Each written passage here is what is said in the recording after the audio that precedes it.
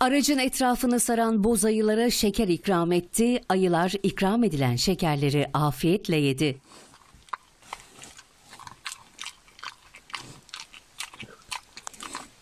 Asım Araboğa, Bitlis Tatvan'daki Nemrut Krater Gölü'ne ziyarete gitmişti. Yolda boz ayılarla karşılaştı. Şeker mi istiyorsun? Tamam sana şeker vereyim. Ayıları isim takan Araboğa onları şekerle besledi. Şirin, Şirin. Adını Şirin bırakalım. Al Şirin. Bu da benim Şirin'im.